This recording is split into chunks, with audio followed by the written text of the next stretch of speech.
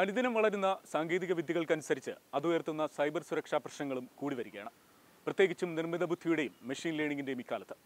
അതുകൊണ്ട് തന്നെ വെബ്സൈറ്റ് പ്രശ്നങ്ങളെ മുൻകൂട്ടി അറിയുക എന്നത് പരമപ്രധാനമാണ്. ഇത്തരത്തിൽ നിർമ്മിത ബുദ്ധിയുടെ തന്നെ സഹായത്തോടെ വെബ്സൈറ്റുകൾ നേരിടുന്ന സുരക്ഷാ പ്രശ്നങ്ങളെ മുൻകൂട്ടി അറിയുന്ന സോഫ്റ്റ്വെയറാണ് ബീഗിൾ. ആപ്പ് ആപ്സ് എന്ന സംരംഭമാണ് ബീഗിളിന് പിന്നിൽ.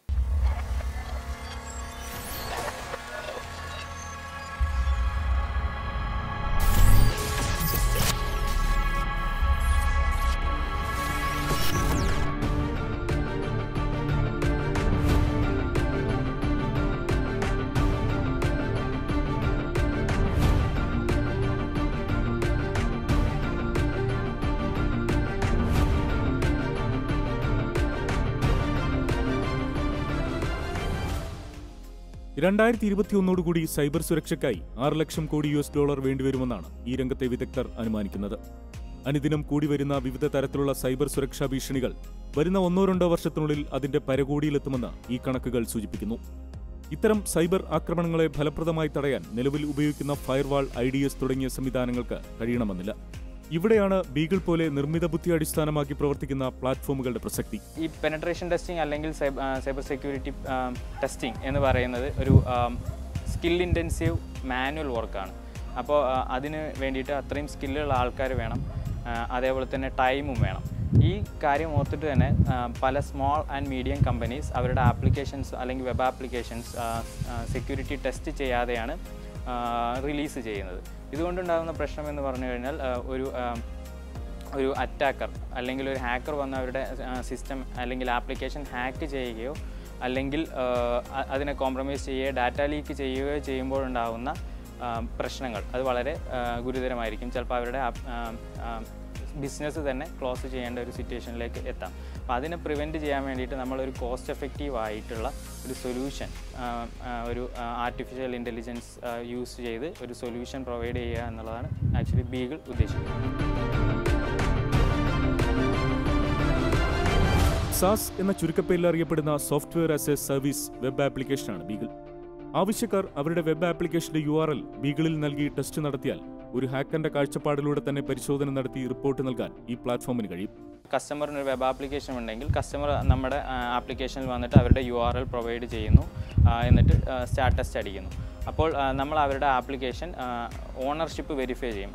ഓണർഷിപ്പ് അതായത് ജെന്യൂൻ ഓണർ തന്നെയാണ് ആപ്ലിക്കേഷൻ ടെസ്റ്റ് ചെയ്യുന്നത് എന്നുള്ളതിന് നമ്മളൊരു മെക്കാനിസം വെച്ച് വെരിഫൈ ചെയ്യും.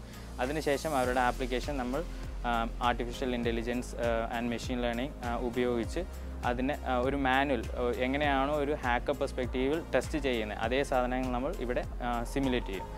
ആ ഇതിൽ നിന്ന് വരുന്ന ഔട്ട്പുട്ടിനെ നമ്മൾ വീണ്ടും മാക്സിമം ഫാൾസ് പോസിറ്റീവ് എല്ലാം അവോയ്ഡ് ചെയ്ത് അതിനെ ഫിൽട്ടർ ചെയ്ത് ഒരു പ്രോപ്പർ റിപ്പോർട്ടായിട്ട് കസ്റ്റമറിന് കൊടുക്കും. അപ്പോൾ അവർക്കതിനെ അവരുടെ ഡെവലപ്പേഴ്സിന് അതിനെ ഫിക്സ് ചെയ്യാം. അതിനുശേഷം നമ്മൾ അവർക്കതിന് റീടെസ്റ്റ് ചെയ്യാം. ഇപ്പോൾ ഇനി ഡെവലപ്മെന്റ് വർക്ക് ഫ്ലോയിൽ ആണെങ്കിൽ അതായത് ഇപ്പോൾ ഡെവലപ്മെന്റ് നടന്നുകൊണ്ടിരിക്കുന്ന ഒരു ആപ്ലിക്കേഷൻ ആണെങ്കിൽ ഈ ടെസ്റ്റിംഗ് അവരുടെ ആപ്ലിക്കേഷൻ ഇന്റർമീഡിയന്റ് ആയിട്ട് അവർക്ക് ടെസ്റ്റ് ചെയ്യാം. ആ ടെസ്റ്റ് ചെയ്യുന്നതിനനുസരിച്ച് അവർക്കുള്ള ബഗ്ഗുകൾ അവരുടെ ബഗ് ട്രാക്കിംഗ് ടൂൾസിലേക്ക് തന്നെ നമ്മൾ ഇട്ട് കൊടുക്കും. അതിനെ നമ്മൾ ഡെവ് സെക്കോപ്സ് സെക്യൂരിറ്റി ഓപ്പറേഷൻസ് കൂടി സെക്യൂരിറ്റി കൂടി ഓപ്പറേഷൻസിന്റെ ഇടയിലേക്ക് കൊണ്ടുവരുന്ന ഒരു സെറ്റപ്പാണ് നമ്മുടെ ആപ്ലിക്കേഷൻ രണ്ടര വർഷത്തെ നിരീക്ഷണ പരീക്ഷണങ്ങൾക്ക് ശേഷമാണ് ബീഗിൾ പുറത്തിറക്കിയിരിക്കുന്നത്. ബാങ്കിംഗ് ഓഡിറ്റിംഗ് ആശുപത്രി ഉൾപ്പെടെയുള്ള വിവിധ മേഖലകളിലെ നൂറോളം ഉപഭോക്താക്കൾ ഇപ്പോൾ തന്നെ ബീഗിളിനുണ്ട്. നമ്മുടെ ആപ്ലിക്കേഷൻ കഴിഞ്ഞ ഒരു ആറു മാസമായിട്ട് ബീറ്റയിൽ റൺ ചെയ്യുകയാണ്. അത് ഏകദേശം ഒരു നൂറോളം കസ്റ്റമേഴ്സ് യൂസ് ചെയ്തുകൊണ്ടിരിക്കുന്നുണ്ട്. അതിൽ മെയിനായിട്ട് വരുന്നത് ഇൻവെസ്റ്റ്മെന്റ് ബാങ്ക്സ് ബാങ്ക്സ് പിന്നെ മെയിൻലി മെഡിക്കൽ ഏരിയയിലുള്ള ഹോസ്പിറ്റൽസ് പിന്നെ ഓഡിറ്റേഴ്സ് അങ്ങനെയുള്ള ആളുകളാണ് ഇപ്പോൾ അധികമുള്ളത്. നമ്മുടെ ആപ്ലിക്കേഷൻ ഇന്റന്റ് ചെയ്യുന്ന ഒരു സ്മോൾ ആൻഡ് മീഡിയം ബിസിനസ്സിലുള്ള ആൾക്കാരെയാണ് ഉദ്ദേശിക്കുന്നത്. വലിയ കമ്പനികൾക്ക് ദെയർ സെക്യൂരിറ്റി ടീം ഉണ്ടായിരിക്കും. ഇനി അങ്ങനെയാണെങ്കിൽ തന്നെ അവരുടെ ഡെവോപ്സ് വർക്ക് ഫ്ലോയിൽ ഇന്റഗ്രേറ്റ് ചെയ്യാൻ ഒരു ആപ്ലിക്കേഷൻ ഉദ്ദേശിക്കുന്നുണ്ടെങ്കിൽ നമുക്ക് അങ്ങനെയുള്ള ആൾ ടീംസിന് നമ്മുടെ ആപ്ലിക്കേഷൻ ഉപകാരപ്പെടും. നോർമലി അത് ഇന്റർനാഷണൽ കസ്റ്റമേഴ്സാണ് അധികവും. നമുക്ക് കാനഡ ഓസ്ട്രേലിയ ആ റീജിയനിൽ നിന്നൊക്കെയുള്ള കസ്റ്റമേഴ്സാണ് അതിൽ കൂടുതലായിട്ടുള്ളത്.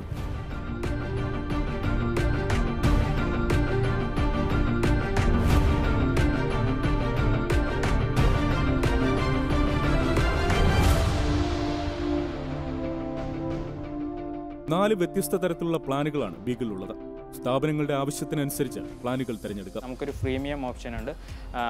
അത് ലിമിറ്റഡ് ടെസ്റ്റുകൾ മാത്രമേ ഒരു ഫ്രീ ആപ്ലിക്കേഷൻ ഫ്രീ ടെസ്റ്റുകൾ ചെയ്യുള്ളൂ.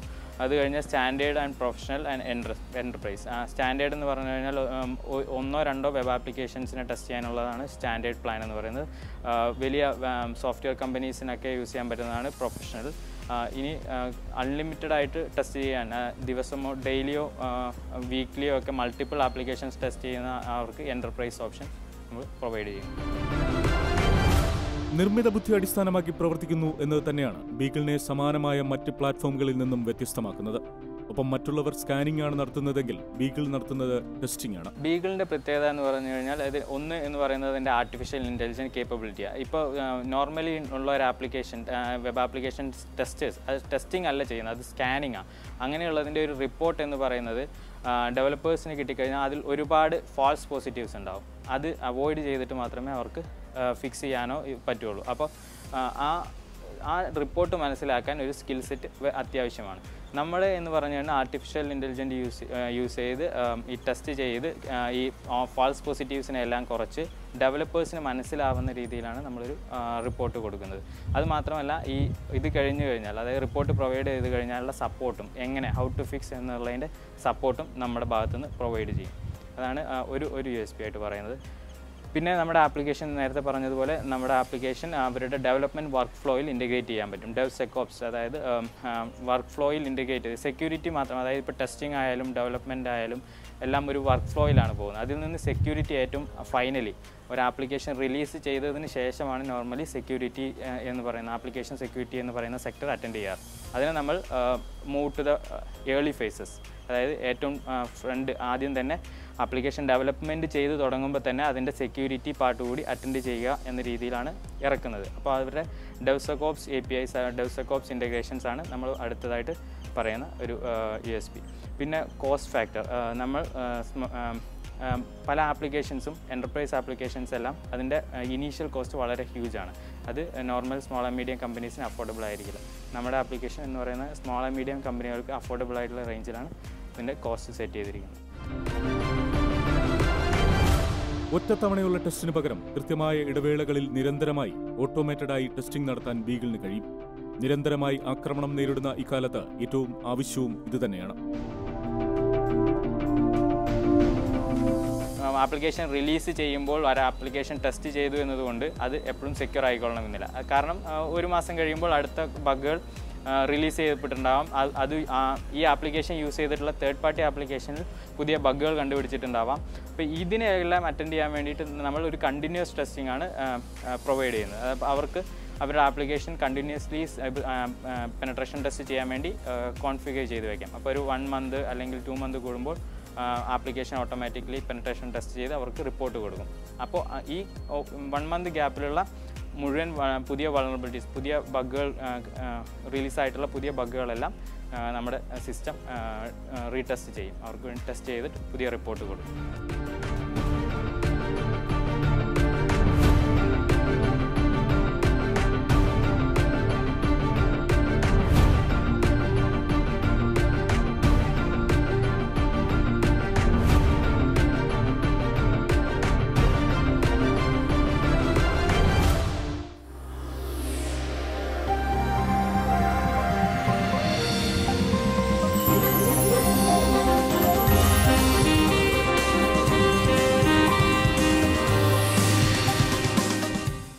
വ്യത്യസ്തങ്ങളായ മിൽക്ക് ഷേക്കുകളും കോണ്ടിനെന്റൽ ഫുഡും നൽകുന്ന കഫേയാണ് മോൺക്യോ. ഇപ്പോൾ തന്നെ കേരളത്തിലെ പ്രധാന നഗരങ്ങളിലും ഇന്ത്യയിലെ മെട്രോ നഗരങ്ങളിലും സാന്നിധ്യം അറിയിച്ചു കഴിഞ്ഞു ഈ കഫേ.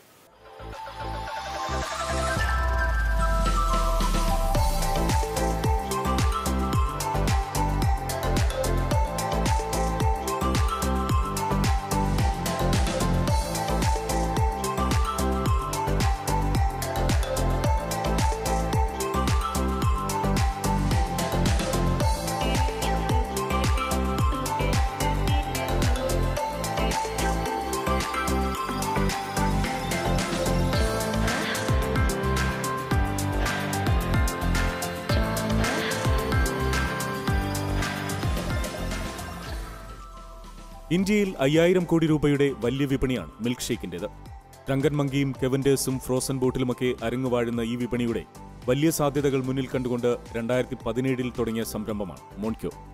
തികച്ചും വ്യത്യസ്തങ്ങളായ രുചിക്കൂട്ടുകളിലുള്ള നാൽപ്പതിലേറെ മിൽക്ക് ഷേക്കുകൾ ഇതാണ് മോൺക്യൂ പുതിയ രുചികൾ തേടിയെത്തുന്നവർക്കായി നൽകുന്നത്.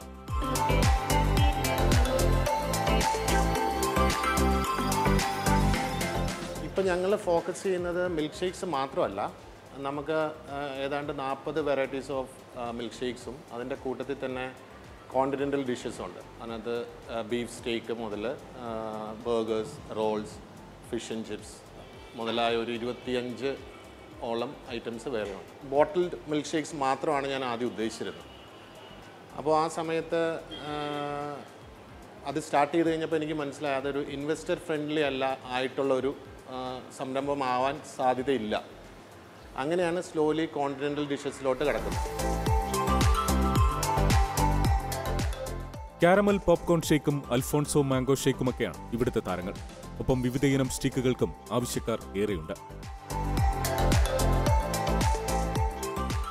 അൽഫോൺസോ മാംഗോ എന്ന് പറയുന്ന ഒരു ഷേക്കുണ്ട് മിൽക്ക് ഷേക്ക് അത് ഞങ്ങളുടെ സിഗ്നേച്ചർ മിൽക്ക് ഷേക്കാണ് അതാണ് ഏറ്റവും കൂടുതൽ പോപ്പുലർ പോപ്പുലർ ആയിട്ടുള്ളത്. രണ്ടാമത്തത് പ്രീമിയം സെക്ഷനിലോട്ട് വരുമ്പോൾ കാരമൽ പോപ്കോൺ അതാണ് അതിനാണ് ഏറ്റവും കൂടുതൽ പോപ്പുലാരിറ്റി ഈ രണ്ട് മിൽക്ക് ഷേക്സ് പിന്നെ ഫുഡ് വരുമ്പോഴത്തേക്കും സ്റ്റേക്സ് എസ്പെഷ്യലി ബീഫ് സ്റ്റേക്കിനാണ് ഏറ്റവും കൂടുതൽ പോപ്പുലാരിറ്റി പിന്നെ ബർഗേഴ്സ് ഉണ്ട്. പിന്നെ ഞങ്ങൾക്ക് കിങ് കിങ് മലബാർ എന്ന് പറയുന്ന ഒരു ഒരു ബർഗറുണ്ട് അതിന് നല്ല പോപ്പുലാരിറ്റിയാണ് ഇപ്പോൾ കേരളത്തിൽ മാത്രമല്ല മുംബൈ ഹൈദരാബാദ് ഉൾപ്പെടെയുള്ള മെട്രോ നഗരങ്ങളിലും മോൺക്യോ ശക്തമായ സാന്നിധ്യം അറിയിച്ചു കഴിഞ്ഞു.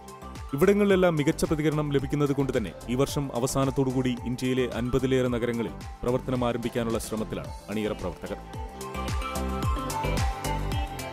മൂന്ന് ഷോപ്പ് ഒരുമിച്ചാണ് ഞങ്ങൾ സ്റ്റാർട്ട് ചെയ്തത് അപ്പോൾ എൻക്വയറീസ് വരാൻ തുടങ്ങി. ഈ കോൺസെപ്റ്റ് കണ്ട് മനസ്സിലായിട്ട് എൻക്വയറീസ് വരാൻ തുടങ്ങി.